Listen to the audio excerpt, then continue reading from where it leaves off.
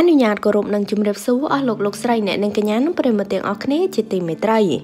ក្រោយសមត្ថកិច្ចចុះចាប់លេម៉ា NK ដែលអ្នកនាងខ្ញុំឡាយលក់រាល់ថ្ងៃនោះអ្នកនាងខ្ញុំមិនទាន់មានប្រតិកម្មឬចេញមុខនិយាយអ្វីនោះទេ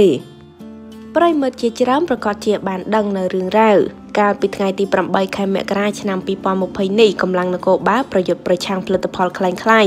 ក្រសួងមហាផ្ទៃបានចុះបង្ក្រាបទីតាំងស្តុបផលិតផលគ្រឿងសម្អាងនិងលេលាបខ្លួន ម៉ា NK ជាម៉ាដែលអ្នកនាងខ្ញុំតែងតែឡាយលក់តាមបណ្ដាញសង្គម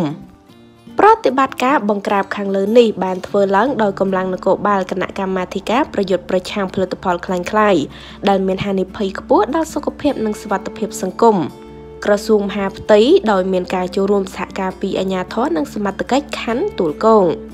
ប្រភពព័ត៌មានបន្តថាដោយមានការសង្ស័យពីផលិតផលលេលាបខ្លួនម៉ា NK មន្ត្រីនគរបាលបានសុំគោលការណ៍ពីព្រះរាជអាជ្ញារងចុះឆែកឆេរទីតាំងទី1 រកឃើញលេលាបខ្លួនម៉ា NK ជាច្រើនកេះដែលវិចខ្ចប់គ្មានគុណភាពសមត្ថកិច្ចសម្រេចដកហូតផលិតផលគ្រឿងសម្អាងម៉ា NK ចំនួន10មុខនិងទីតាំងទី2ដកហូតបានចំនួន6មុខដែលសង្ស័យថាជាផលិតផលคล้ายៗកែច្នៃវិចខ្ចប់គ្មានគុណភាពបង្កឲ្យប៉ះពាល់ដល់សុខភាពអ្នកប្រើប្រាស់ បច្ចុប្បន្នទីតាំងខាងលើត្រូវបានបិទជាបណ្ដោះអាសន្នចំណែកឯផលិតផលដែលសមត្ថកិច្ចដកហូតទាំងនោះត្រូវបានបញ្ជូនទៅកាន់ក្រសួងមហាផ្ទៃដើម្បីចាត់ការតាមច្បាប់ក្រោយមានរឿងបែបនេះកើតឡើងអ្នកនាងខ្ញុំដែលតែងតែលក់ផលិតផលនេះមិនតន់ចាញ់មុខនិយាយអ្វីនោះទេ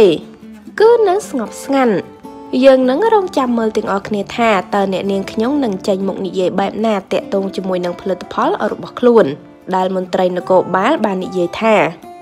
ដកហូតទុកព្រោះសង្ស័យជាផលិតផលคล้ายៗចាហើយតកតងនឹងព័ត៌មាននេះដែរក៏សូមបញ្ចប់តែត្រឹមនេះអរគុណបងប្អូនទាំងអស់គ្នាសូមចុច Subscribe និងរូបកណ្ដឹងដើម្បីទទួលបានព័ត៌មានថ្មីៗជាបន្តទៀតសូមអរគុណសូមគោរពលា